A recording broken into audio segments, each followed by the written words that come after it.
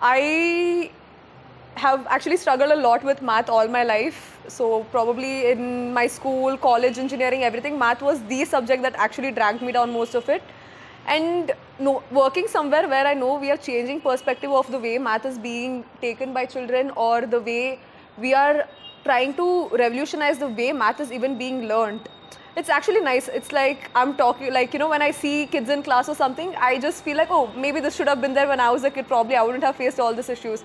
At the same time, it's very nice to see that we are changing that perspective for a lot of kids. Just the thing is, I have seen the curriculum in a very close way over here. So I kind of understand that we are teaching math in a very organical way, the way it is supposed to be learnt or experienced by anyone. Now I actually do use the left to right method when it comes to I. It's, it's I'm actually very proud that I've learned it. So I kind of show this off. I know I shouldn't be doing it outside work, shouldn't be sharing. I do not tell them the tricks on how to do it, though that's just restricted for our course.